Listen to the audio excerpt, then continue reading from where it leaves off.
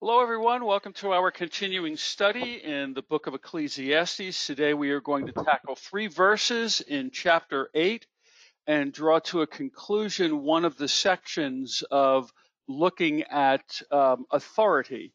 And we began that study a couple of uh, sessions ago, and we'll be completing that and then going on to the next one as part of this particular uh, chapter and study. So before we go into the Word of God, we should always lay down a foundation of prayer. So please bow your hearts and join me.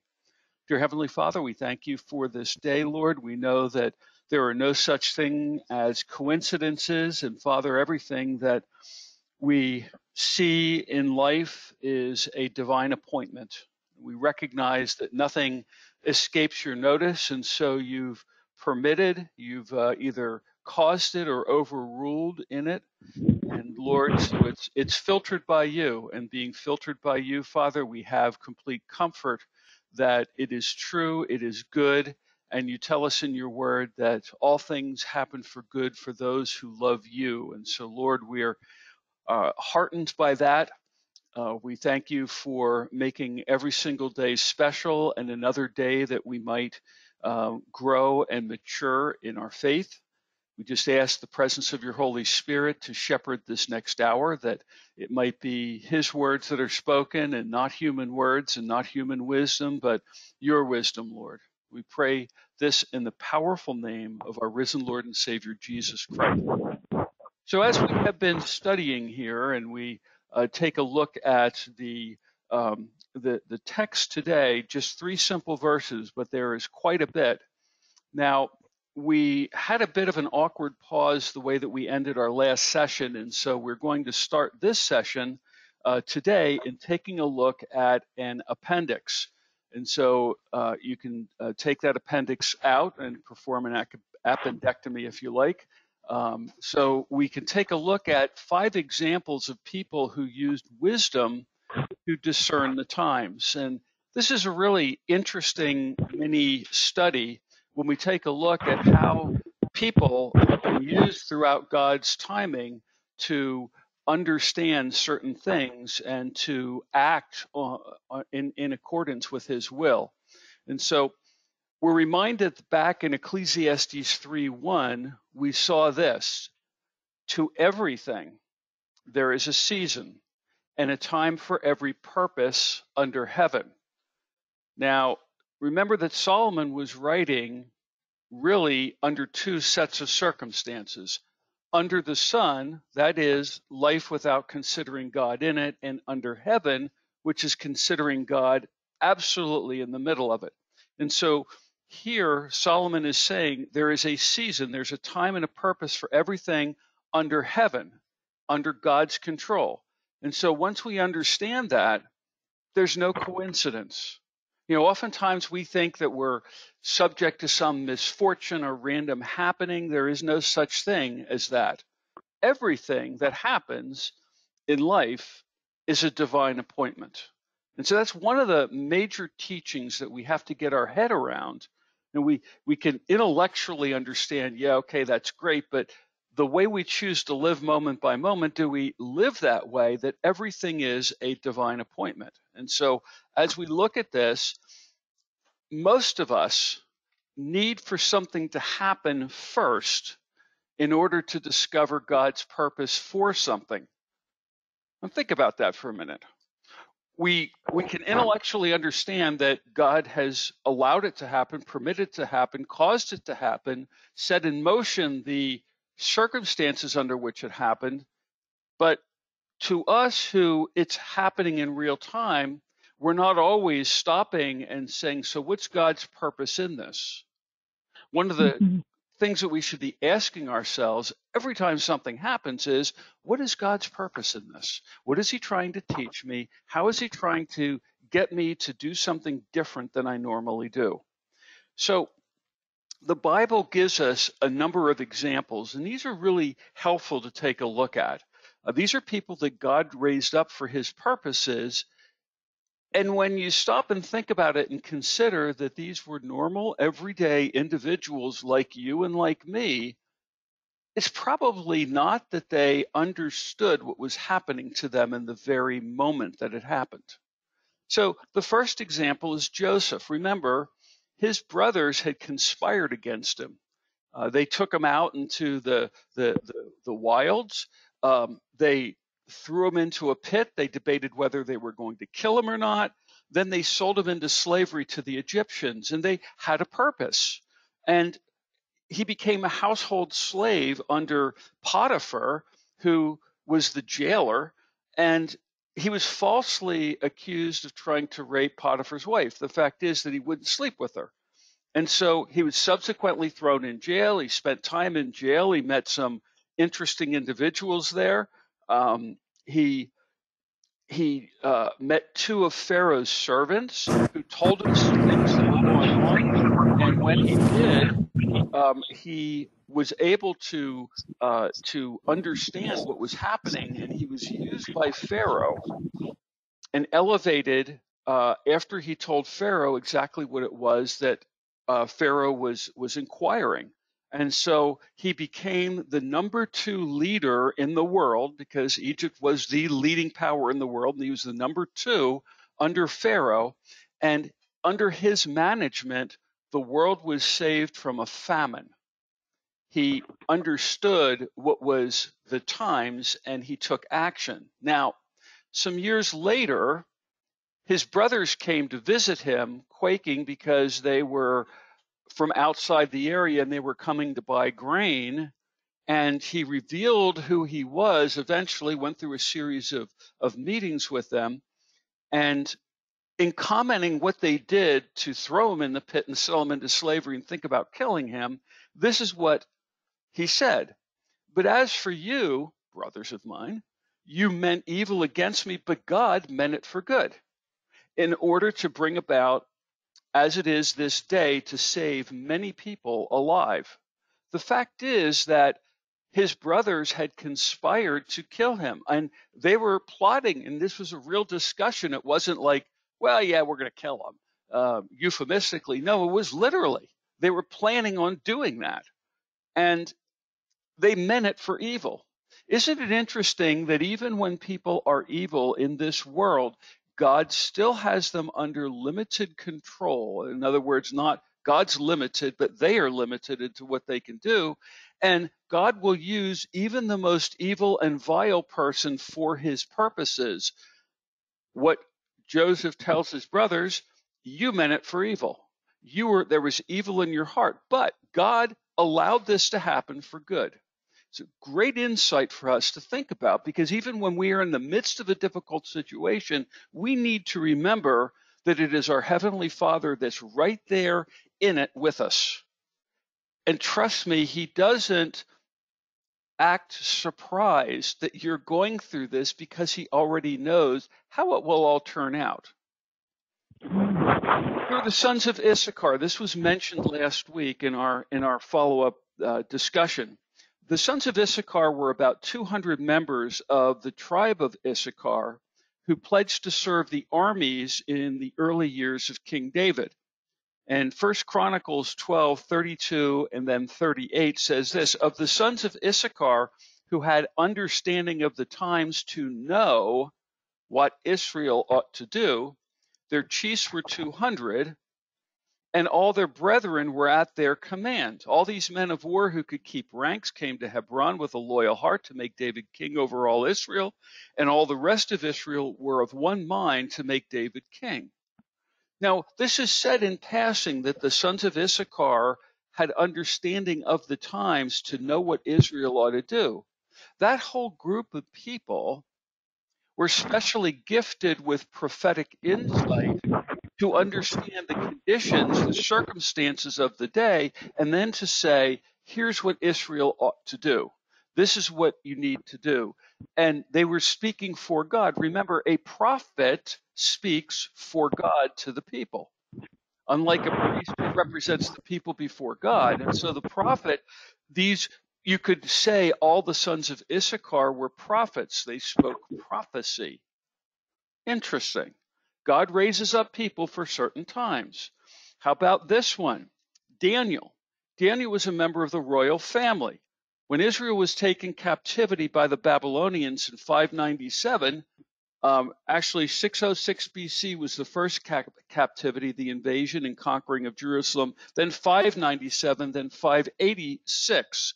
And he was taken captive in the second wave of captivity because kings would take members of the royal family.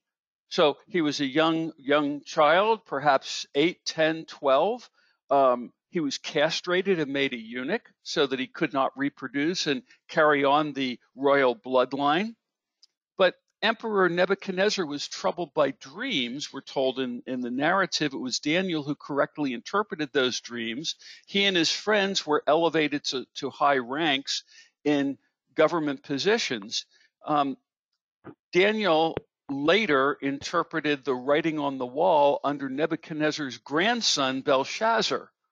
He was then elevated not only under Nebuchadnezzar, but he was then elevated under the folks that conquered Babylon, the Medo Persian empires, Cyrus the Great and later Darius, and both of them elevated him to a chief position. And he was uh, among the leaders of what were known as the wise men individuals who given particular uh, qualities and capabilities to uh, be able to to tell the time and understand the times and in, in uh, what was occurring. So Daniel used, um, or Daniel was used as a prophet when God sent the angel Gabriel to him, gave him the key to all prophecy. We've taken a look at that uh, previously, uh, Daniel uh, 9, 24 to 27. If you want to understand the key to all prophecy, right there it is, and captured in those couple of verses. And then gave him in additional chapters, literally the history, the future history of the world uh, from Daniel's day through the coming kingdom of Jesus Christ. So world history recorded in advance. God used him. God used wise people. And we see that as an example. Here's another great example Esther. Um, her given name was Hadassah, which meant myrtle. She was a Jewish orphan who grew up in the home of her cousin Mordecai in the in the Persian city of Susa. Uh, Xerxes the Great, who was the successor to King Darius was in search of a wife after he divorced Queen Vashti. And this was a very beautiful woman was her beauty was legendary and so she was selected to be about queen this was about 470 bc given the name esther which meant star but she learned of a plot by the wicked haman who had uh, who was an, an officer in the government of Xerxes, and he had developed a plot to kill all the Jews. And we can read about the story of her courage and wisdom, how the plot was averted and the Jewish race was delivered. And Mordecai, who she was living with, uh, observed this in Esther 4:14, "For if you remain silent at this time, relief and deliverance for the Jews will arrive from another place. It will arise from another place." In other words, Mordecai was confident of the delivery of the Jews because he knew the prophecies of the Jews, and this wasn't going to be the time that they get wiped out. But you and your father's family will perish, and who knows but that you have come to a royal position for such a time as this. God raised her up for that time to deliver the people in that way, something that was stunning. And we know the story. Haman, who had erected a gallows in the town square in the capital city of Susa, was going to impale. It was a when they called it crucifixion, it was actually impaling on a on a vertical spike, and they were going to go and impale all the Jews on that. Well, he himself got impaled on his own device. We know that story. We have Nehemiah. Nehemiah was the cupbearer to the Persian king Artaxerxes Longimanus in about 450 BC. This was following after um, Esther.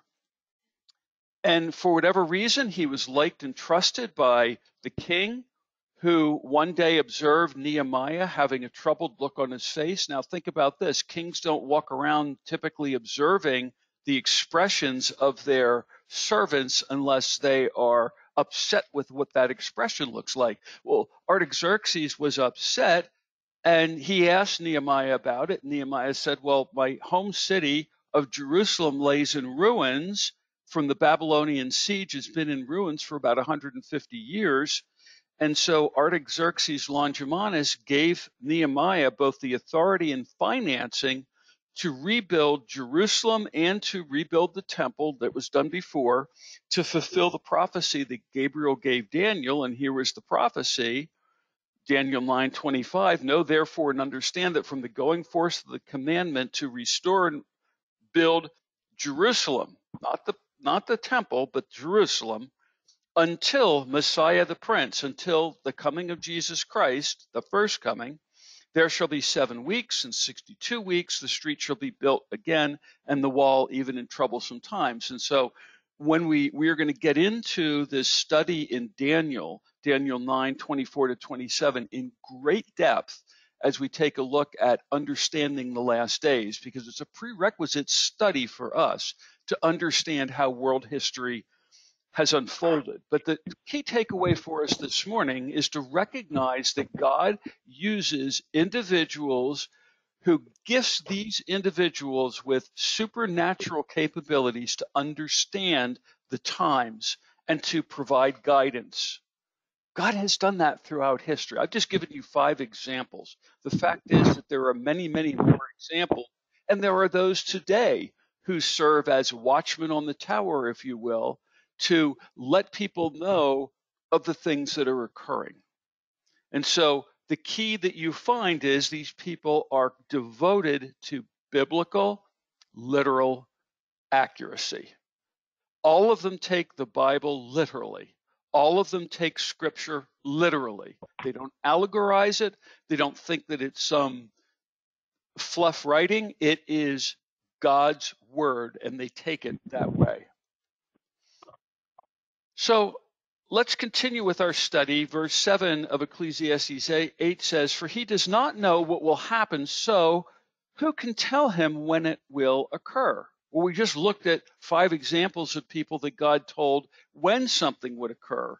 The question is, who is it that doesn't know what will happen and what do they do instead?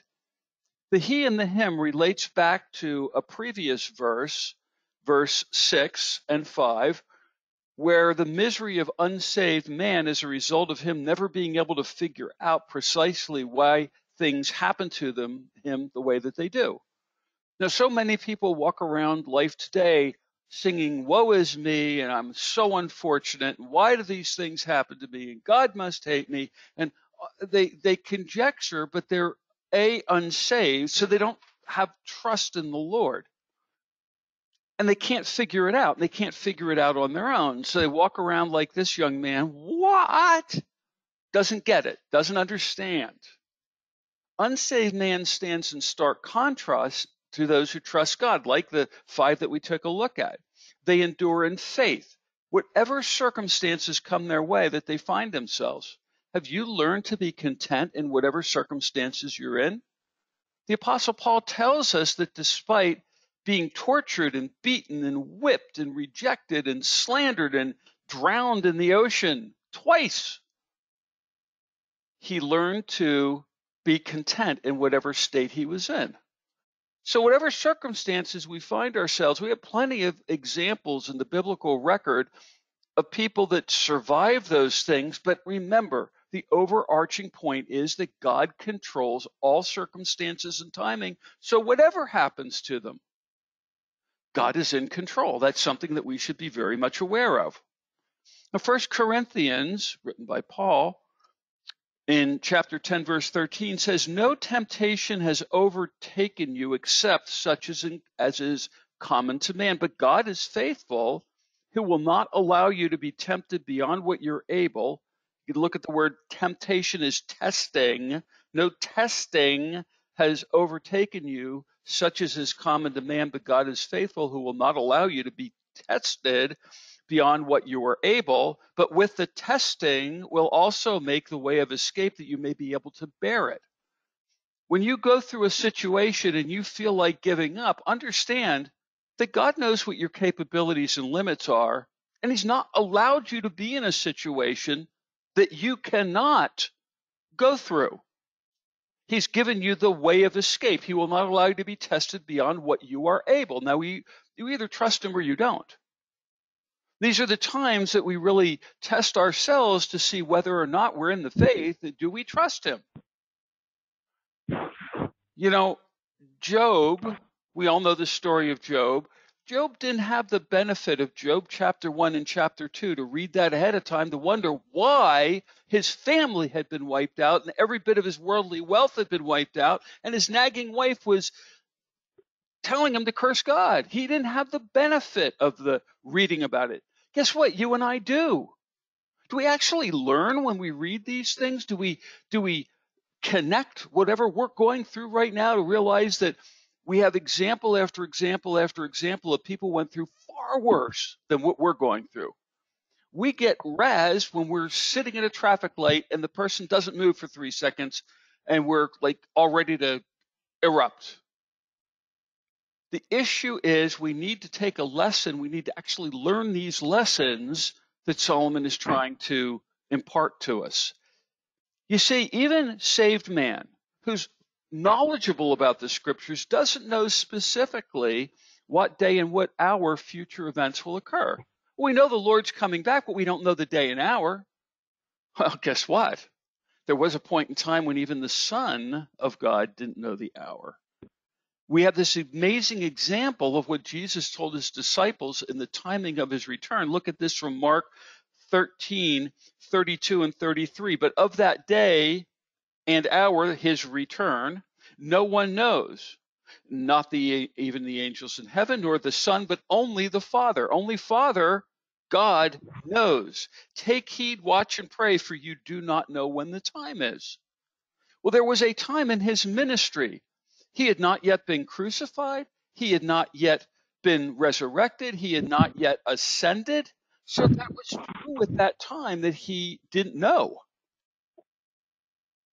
Boy, that gives us an understanding of the faith that he had in his father and his trust in his father to allow himself to be crucified. He knew that he was going to be crucified, but at a, per, a point in time in his earthly ministry, he didn't know the date and hour. He had to trust his father. We don't oftentimes think about that, do we? That Jesus had to trust his father, even though he was the Son of God, fully man, fully God. Amazing, amazing. Trusting God despite the circumstances. So while saved man doesn't know the price, precise timing, God in Scripture reveals what will happen. We know the events, we know the outcome of events. We know how things turn out. You and I have all read the last couple of sentences of Revelation, the book of Revelation. We know how things turn out. But everything is based on if we love God. Do we love God?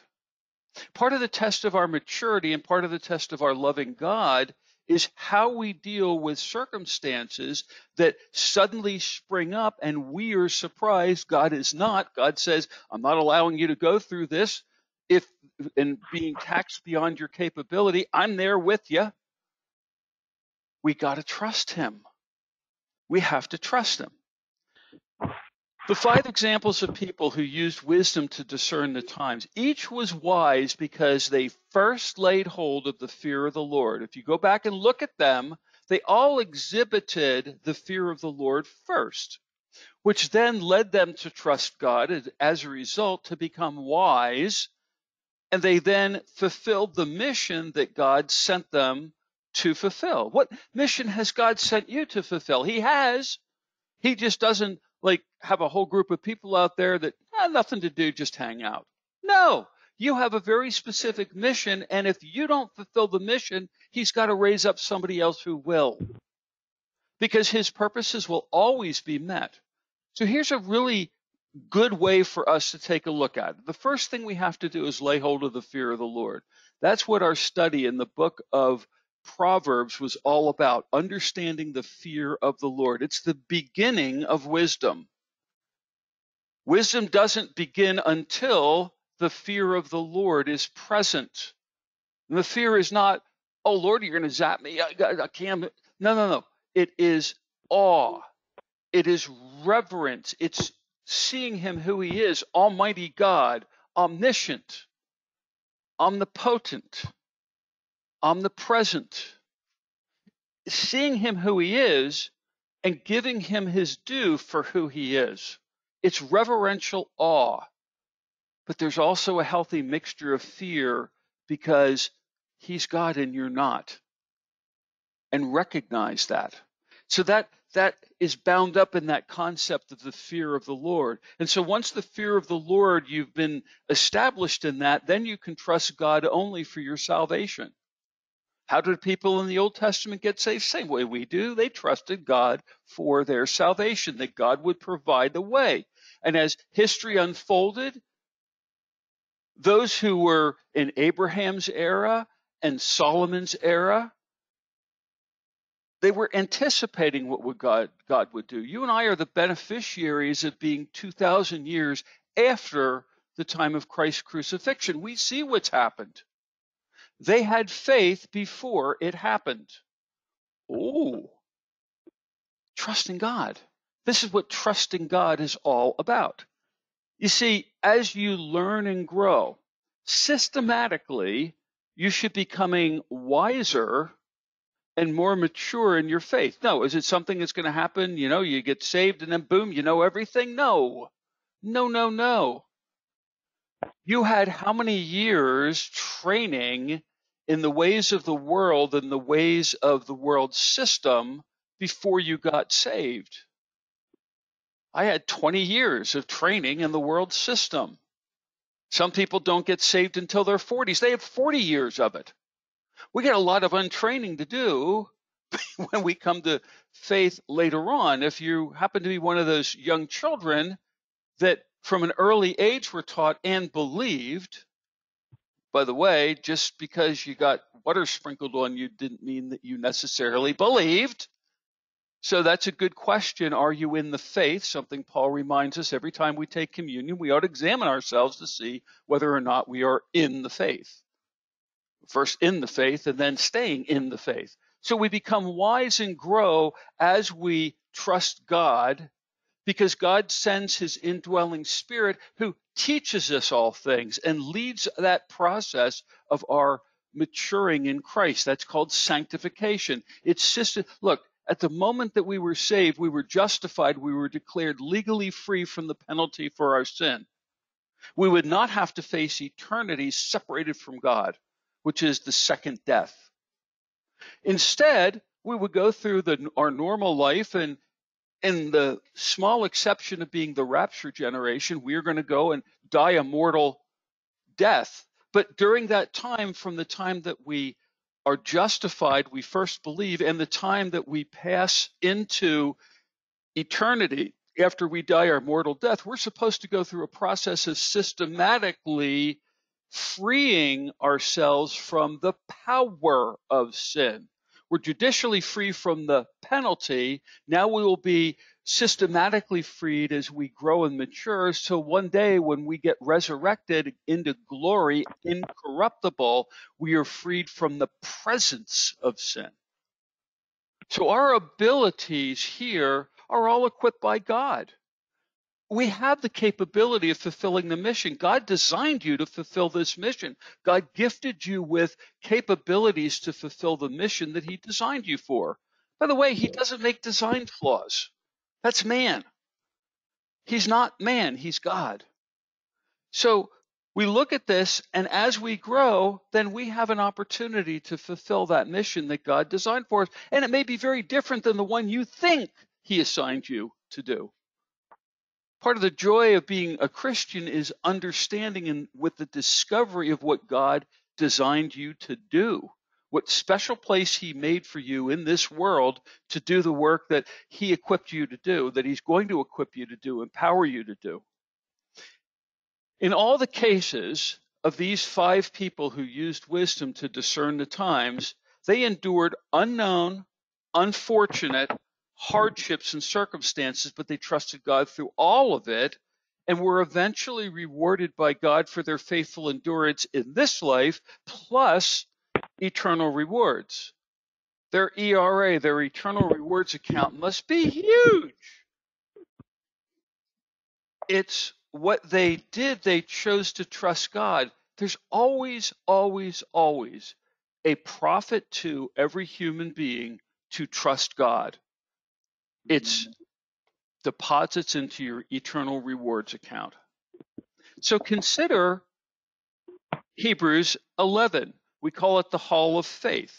It's the recitation of a whole bunch of people who were God's heroes in the faith. There are examples today when we go through tough times. We had to read Hebrews 11 to see what some of the other people went through. Few of us have been asked to be sawn in half. Few of us are going to face that or burned alive. Few of us are going to face that in our testing. To many, to us, the testing that we have seems large. In light of what has happened to God's people, it may be merely a hangnail, but it seems large to us. God will see you through it. Despite the circumstances, these people trusted God whatever situation they found themselves into, they endured in faith. They endured in faith. And each laid hold of the hope and the future that God promised. God says, I have a hope for you. I have a future for you. And he's promised that to each one of you and me. We have hope and a future. We're not like those who have no hope that don't have salvation. You've accepted Jesus Christ, then you have the certainty of a hope and a future. So you and I can endure everything that life throws at you because God says He's not going to allow us to be tested beyond what we're capable of handling. See, conversely, those who are simple, who simply they're simple minded, they don't they don't have not trusted in God, they're fools or scorners of the wicked of this world. They use ungodly means and many, many schemes, as the passage said previously, but attempting to know and shape and react to their future as it happens. So we just need to be aware of that. So let's continue here. We've we've uh, handled uh, verse seven. Let's take a look at verse eight. We're going to do that in three parts. No one has power over the spirit to retain the spirit. No one has power over or power in the day of death. That's the first part. In order to understand this, we need to understand the words. So the word power. No one has power. Shalat, which means to have or bear dominion, rule, or power over something. And by the way, it's no one has power over the spirit to retain the spirit, and no one has power in the day of death. Interestingly enough, that power is a slightly different form, but it's the same root word shalat. To retain it, that means is kala, which means to hold back or hold in, restrict, withhold, restrain, shut up, or prohibit. That's kala. And spirit here is being used ruach in the Hebrew. Greek is much more precise when it comes to this, but ruach in Hebrew means a breath, and it's used to define both the spirit of man and the Holy Spirit, God being a spirit. And so both uses may be in play. The context in Hebrew determines which of the two uses this is. So when we look at this, the first part of verse 8 says that no human being has either been given or possessed power over his or her own spirit, or the wind, or the Holy Spirit. All three of those are proper renderings of the word ruach. So the first part of verse 8 there says that. In context, remember, Solomon previously concluded that no human being has the ability to know what will happen in the future. We just looked at some of that uh, before we went to this particular verse. God, whatever God has revealed, God has revealed, and that's to the extent that we can know and understand the future, what He's revealed to us. Some things He's chosen not to reveal. His purposes are just fine. They're right, they're correct. And when perhaps when we're on the other side of it and we engage in the conversation, well, why didn't you let me know such and such was going to be happening? Don't be surprised to hear, because I love you. And see how that fits the situation. Likewise, no human has the power to prevent his or her own death, nor to put back the spirit once it's left the body. You know, you, you don't see a corpse going in there and, you know, gets an electrical shock and says, grab this thing before it goes, put it back in my butt. No, no, no, no, no, no, no, no. No human being has the ability to do that. The only safe place then, folks, listen carefully, is to be in God's favor by first accepting his offer of salvation and then walking in obedience to what he tells you to do executing your mission. I don't care if your mission says that you're to stand in the middle of the battlefield with live ordnances dropping on you all around. If God tells you that's where He wants you to be for His purposes, not for your ego, but for His purposes, you do it and mm-hmm. you're safe. You are held in His hand. Scripture tells us that God holds, God the Father holds you in his hand, and God the Son holds you in his hand, and you are clasped tightly in those hands, which just happen to be the most powerful hands in the world. They created everything, they sustain everything. The safest place to be is in God's will, doing what God has asked you to do in his timing and in, in his methods as his witness. That's the safe place to be. Well, let's continue with the second part of this verse. There's no release from that war. Interesting. No release from what war? What does that mean? Well, we need to understand the Hebrew vocabulary. Release is the word mishlachath. You can't pronounce Hebrew unless you spit on the other person. Mishlachath. To, dis- to be discharged or released from service. This has both a temporary release and a permanent release considered. Both are, are operative in this word release, temporary and permanent. War is milchma, which means battle or fighting engagement contest. It likens life to an ongoing struggle or battle. Have you ever wondered why you feel weary from being in the battle because you're just going through life? There is a battle. It is a battle. There is a spiritual battle with unseen forces going on around you right now. If you and I could see into the spirit world, we might see angels doing war above us and around us, protecting this time so that we could study God's word in peace. Don't underestimate what goes on in the unseen world. It is an amazing thing. One person I'm aware of in scripture was given the ability after, and I think it was Elisha's servant was given the ability. Elisha prayed that his eyes would be open to see the spiritual battle going on around him as the the servant was freaked out because the king had sent a group of troops around them. We have to understand that there is a war going on and to deliver the word malat to cause an escape or rescue from the ongoing battle of life. So it says there's no no discharge from this battle or engagement. We're going to get delivered though because that's coming here in the next passage. This no release is actually uh, this this thought here. So we need to understand there's an Orientalism here. When we talk about a war, when war broke out in Israel, military service was mandatory with no exceptions, no deferments. By the way, that's true today. It's true today. Every 20 year old has to serve without exemption. I mean, you know, if they're a paraplegic, yes, I understand that, but if you're able bodied, you have no ability to say, well, I don't feel like it, or I, you know, I'd rather be an artist, or you know, let me go do something else. It's required. It's a requirement. By the way, that's another example of having no control over the outcome. And if it's mandatory service, it's mandatory service. So you go and you do it. God's in sole control of the outcome. Let's not forget that. The outcome will be whatever he deems it to be, whether death or injury or something else. When you're in a war situation and you go on go into that war as a Christian, if you die, that was God's purpose.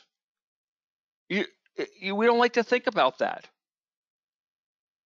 Even Jesus, when he faced the cross, said, If there's any other way, Lord, but not my will, your will, Lord. I mean, it wasn't pleasant to him to think about having to give over his life. And he knew the purpose for which he came.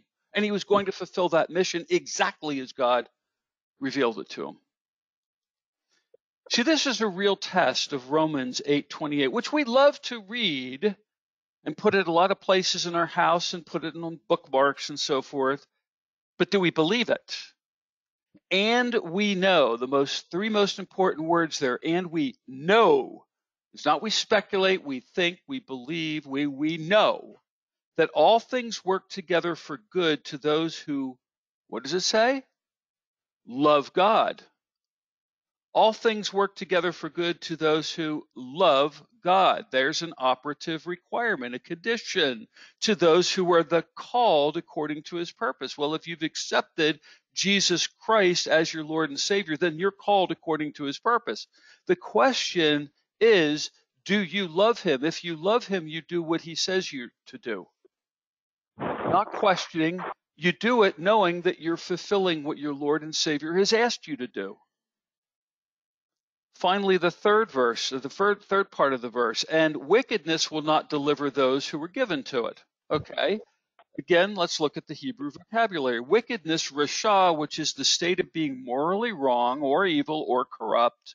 Wickedness is always a choice to follow Satan's way. And if you're following the world system, who controls the world system? Satan. It's his way. So there's nothing good in your flesh, by the way. You go ahead and follow that because your flesh is corrupted with sin. And sin's what was introduced when Adam and Eve decided to listen to Satan's voice and choose his guidance rather than God the Father's. Deliver the word malat, to cause an escape or release or rescue from. This here is in this particular portion of this verse, it's a release from the power behind the wickedness. Remember, there's always a power behind the wickedness. We oftentimes think, well, things. No, no, no, not things. There's a malevolent evil force called Satan, a person, a created being who has limited power. He's behind the wickedness. We need to understand that given, the word given to those who are given to it, Baal, Baal rather, a power that has mastery over someone or something. You see, wickedness tends to own those who are under wickedness. If you follow after wickedness, it gets to own you, just as Satan gets to own you. Here's a third certainty then Wickedness never delivered a single human being, or even a demon, or even a fallen angel from the consequences that await in the final judgment. Understand that. They're not going to be delivered by their own power. There's only one delivery, there's only one way. There's only one way to salvation, and that is through Jesus Christ's substitutionary death for you on the cross. Even for those who are saved, to those who are saved, there's both temporal consequences in this life and eternal loss of rewards for those who practice wickedness. You could be saved and choose to practice wickedness. In a very real sense, Adam and Eve were saved, they were holy, they were without sin before they chose wickedness. Huh. For those who practice wickedness, there's always consequence. But for those who are God's who choose wickedness, the penalty is not so much that you lose inclusion in heaven with God. One cannot lose one's salvation. It's not up to you didn't it's not in your power that you got it. It's not yours to you can't pluck yourself out of it. You can't remove it if you were saved, you were saved. You may escape what is planned for those who are unsaved, who has chosen to reject God and his salvation. You may escape that, as the scriptures say, and have the smoke of fire on your garments, because that's where they're going to hell to burn. To me, it's so sad to be deluded into thinking that we can get away with wickedness. Galatians 6 7 sums it up very simply. Whatever a man sows, that also shall he reap. We see that throughout the Old Testament and the New Testament. If you sow it, you reap it. If you sow a tomato seed, you get a tomato. You don't get a chihuahua, you get a tomato. Whatever you sow, you reap. So it's an obvious question because we like to look at limits. Is it ever okay to defy the authorities who God allowed to come to power? We know that God raises up all authority. We looked at that a couple of sessions ago. So, in our study of Proverbs, we examine this topic in detail in session 32 in Proverbs, the embodiment of wisdom, what God expects from kings and leaders. You can access that. There's your streaming address. You go to streaming, you go through the menu, take a look, grab Proverbs session 32, and you'll see what God expects from kings and leaders. So the answer is yes to defying authority when authority is attempting to get you to do something contrary to God's law or commandment. Even though God raises up the authority that now it tells you and directs you to do something in defiance of what God said to do, and you are to follow what all authorities say, except in that case. And scripture is very clear about this. Remember what happened in Acts 4 and 5. John and Peter were brought before the council and forbidden to teach about Jesus Christ, even though people were getting healed. Nobody could deny that this lame person who was lame from birth was now healed and jumping around and frolicking. And you can't deny it because they'd seen him for, for day after day after day after day after day because he was in a prominent place. But the Sadducees and Pharisees, well, this doesn't fit our theology because we got a pretty good like racket going here, you know. We get people coming in, they don't bring things to make sacrifice, so we've got the local monopoly on taking all the the you know we buy the cut rate stuff for sacrifice. We sell it at first class prices. We've got a pretty good deal going on here. They were corrupt. They wanted power. And so they saw this as a threat. And so they threatened peter and john from teaching in the name of jesus christ. I love this passage Acts 5, 27 to 31. And then he brought them, they set them before the council, and the high priest asked, saying, Did we not strictly command you not to teach in his name?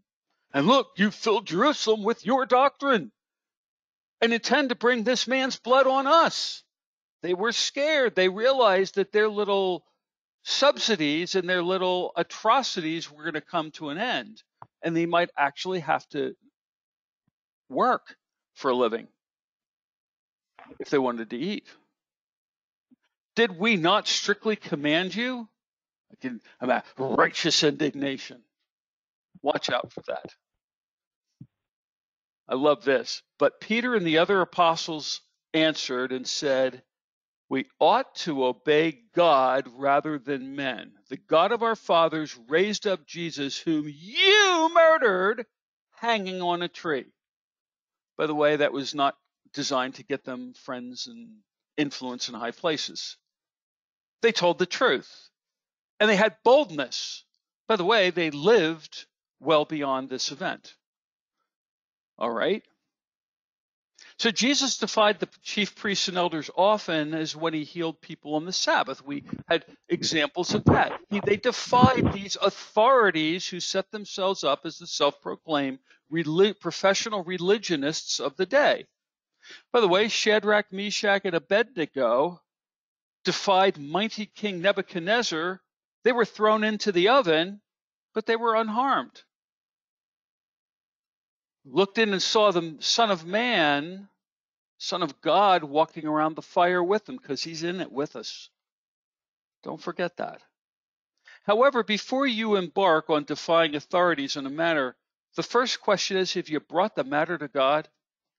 To ask him for direction on whether or not you should defy the authority. That's a first step. Remember, the fear of the Lord is the beginning of wisdom, and wisdom is when we come to God because we don't know and we need his guidance in a situation. Now, he may want you to simply bear with it bear up silently because that will ultimately bring him glory. Or perhaps prepare you to minister to someone who's suffering in the same thing, or to fulfill his purposes in another some other way. When you bring it to God and engage in the dialogue, rather than just go shoot from the hip and act out of your flesh, that doesn't that rarely works because we are still SIN positive. Even though we may be born again, we still have sin tendency. So we have to go to God first. We need His guidance and advice when we don't see it clearly. We should never defy unless it honors God. I'll show him. No, you won't. Boy, Satan would love you to do that. If you bring his name into disrepute, you've just engaged in Satan's agenda. That's what he wants you to do. Solomon, as well as David, did not approve of plots against leadership, since plotting hides wickedness under the cloak of deception. You can find this in many of the Psalms and Proverbs about hiding wickedness, wickedness appearing as good. See, when it comes to matters of conscience and law, wise Christians should follow the guidance of Peter and obeying God rather than obeying men. This is really good, instructive leadership for us by Peter, ultimately under the ministry of the Holy Spirit and of Jesus Christ, to obey God rather than to obey man. When there is a choice where there are two different directives being given obey God first, obey man second, but first go to the Lord and ask, request. So how should a believer take action against an order or law that's opposed to God's command? Well, recall that Jesus' half brother James offered guidance that we should apply whenever we're unsure. He says, You got to seek wisdom from God. Look at this. If any of you lacks wisdom, let him ask of God. There's no other place to ask. Let him ask of God, who gives to all liberally and without reproach. He's not going to get angry with you because you've asked for wisdom. In fact, he's going to congratulate you and thank you for asking him for wisdom. But let him ask in faith with no doubting. For he who doubts is like the wave of a sea driven and tossed by the wind. Don't don't be wind driven ask in faith. If you ask doubting, no, then it's not going to happen. And you're making a testimony against God because you're not asking in faith. So your testimony doesn't bring God honor and glory. We need to ask in faith. We ask in faith. When if any of you asks lacks wisdom, let him ask of God who gives to all liberally and without reproach, and it will be given to him. But let him ask in faith you believe that God is going to do this because he promises to do it. See, in Ecclesiastes 8, Solomon offers four different ways that believers can resist authority when it's in God's will to do so. And we're going to do this by applying in reverse what Solomon directs us to do to be obedient to kings. And this has to be seminary based because it's going to use alliteration, four D's. And whenever you see alliteration, that's because, you know, I don't know, they it's what they do, I guess.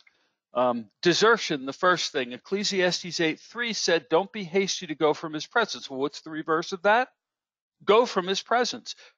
So you resist, you go away from the presence of evil simply by leaving the field of conflict or battle. One of the ways that you resist something that is not under God's, not, not in alignment with what God has asked you to do is to simply walk away from it. Walk away. By the way, you can avoid a lot of arguments if you'll do that. You can avoid entangling yourself in a lot of bad situations if you simply walk away. That's one way to defy an authority that's telling you to do something that is contrary to what God says. A second way is defiance. That's the second half of, of verse 3. Ecclesiastes 8, second half of verse 3 says, Do not take your stand for an evil thing. Well, if you don't take your stand, then you resist or take your stand against that evil thing, which the authority is directing you to, to support. Sometimes you need to resist. You can walk away, you can resist. A third way to handle it is to be disobedient. Ecclesiastes 8:5 says, "He who keeps his command will experience nothing harmful." Well, that's if you're if you're doing what a king is telling you to do, except if he's asking you to do something that's against God's word, then you resist, you passively ignore, you just don't comply. I understand what you're asking me to do. That may be the appropriate answer to give, but you're not going to do it because you are disobedient it under God's direction. Remember, under God's direction. Last but not least, dispute it. Ecclesiastes 8:8c says, "Wickedness will not deliver those who are given to it."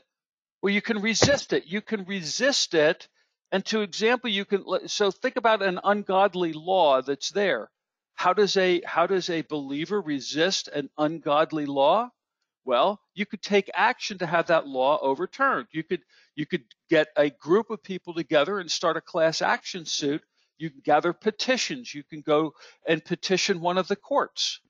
There are legal ways that honor authority but don't dishonor God in the process. So here's four different ways that scripture suggests to me. So, verse 9 Let's look at verse 9, our last verse. We're going to make it. All this I have seen and applied my heart to every work that's done under the sun. There's a time in which one man rules over another to his own hurt. Well, what's the conclusion here? What he's saying is he's seen and applied his heart to every work that's done under the sun, which is saying he simply actively observed a multitude of situations where man's in a variety of leadership positions. Remember, this first section of chapter 8 is taking a look at um, of, of evil in authority. Solomon qualifies this as being under the sun, so it's a secular view. I have seen and applied to my heart to every work that is done under the sun. Every work means qualifying this observation is taking much time and effort in consideration. He hasn't jumped any conclusions, so his observations are as valid as possible.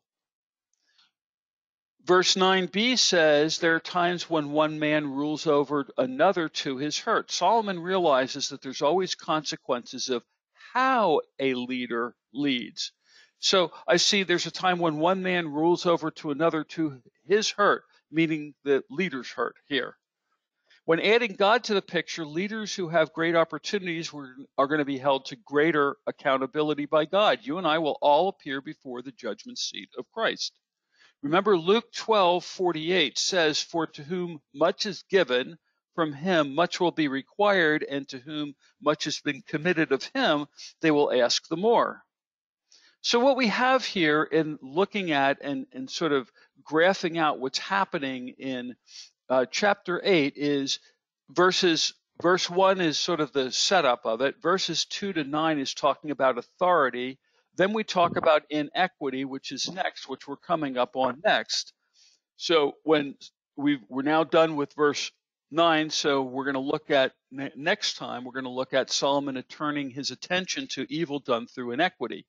Well, what's inequity? Inequity is fair and impart, or equity rather, is fair and impartial treatment. So inequity is the opposite of that. It's unfair and partial treatment. So what does that mean? Well, let's look at this in, in context here. Luke 12, 42 to 48 said, And the Lord said, Who is that faithful and wise servant whose master will make ruler over his household to give them their portion and food in due season? Blessed is that servant whom his master will find doing when he comes.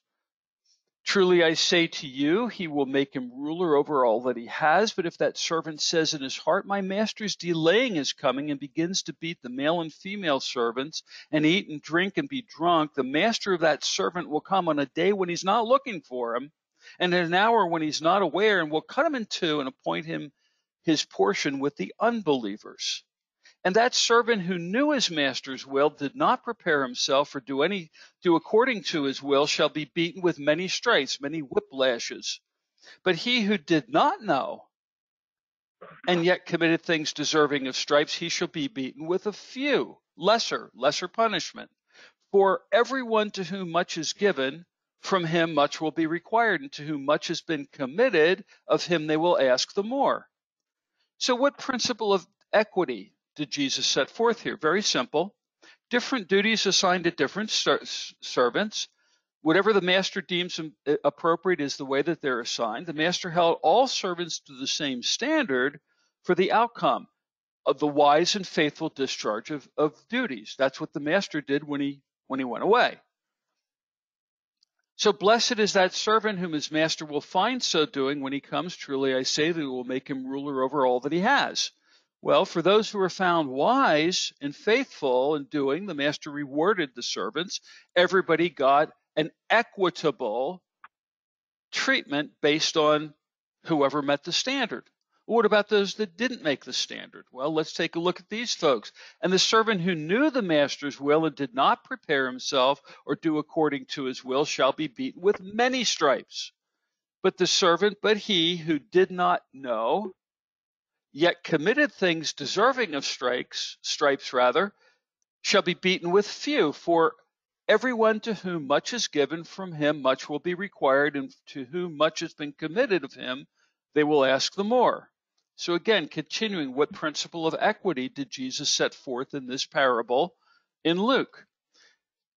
The servants who made the choice to ignore the master's instructions, or those who did not pay any attention when given the instructions, they, they were just tuning out. They should have been listening, but they tuned out. Well, they're going to receive equitable treatment based on the standard of being wise and faithful. So the same, they're going to, there's the standard. They're going to get judged against that standard if you do what you know you shouldn't do, if you intentionally do do the wrong thing, your punishment's greater than when if you unintentionally you didn't intend to do that. By the way, God understands the intents and thoughts of the heart. Man's legal system often uses Lady Wisdom as its icon of assuring impartial equity. Uh, uh that's why you see the, the the Lady Wisdom is blindfolded, holding the scales up, blindfolded. Solomon will observe that equity is found in principle, but not always in the practice of ungodly people. So you'll find our government has a sense of equity when being practiced by rank unbelievers, but there is still a promotion of fairness. We're going to understand that that's a pretty slippery thing to do. So, three things to consider. First, key takeaway have a right relationship with the creator of the universe all that's in it. He created it. So the best place to be for us is to have a right relationship with Him. Key t- takeaway number two once we're in that right relationship, then learn what God has assigned to you to accomplish during your mortal years. What, what's His mission for you in your life? Are you discharging that mission? Third takeaway, and we'll end on this one be found faithful in executing your duties to the best of your ability. And remember, seek his guidance, ask him for wisdom. Let's close in prayer. Dear Heavenly Father, we thank you so much for the truth of this message today. We thank you for the truth of your word. We thank you for its relevance to our day and time. There are no such thing as coincidences, Lord, and everything is a divine appointment. So, in many senses, what we go through day to day is a test that you are looking at for each of us, not because you want to catch us doing something wrong, but because your heart's your heart beats for us to be doing something right, to be trusting you, trusting you for the truth. That's what you really are looking for. And that helps us to grow in maturity and grow away from that sinful person that we were when we came to you in faith and accepted your salvation gift through Jesus Christ, and now are trying to learn and grow in wisdom and step by step releasing from the power of evil and sin over our lives, that we're growing more and more Christ like. Father, thank you for permitting us to do that and having time in this life to grow and mature that we might grow into the person that you would have us become. We pray, Father, that in the coming week you will remind us many times of these truths and you will be communicating with us as we seek your face as we ask for wisdom of how and what and why and when and where. Lord, we know that you are not leaving us to our own devices, that you love us. And we thank you, Father, for the truth of your word. We thank you for all of these things in the precious name of your Son, our risen Lord, risen Lord and Savior, Jesus Christ. And God's people said, Amen.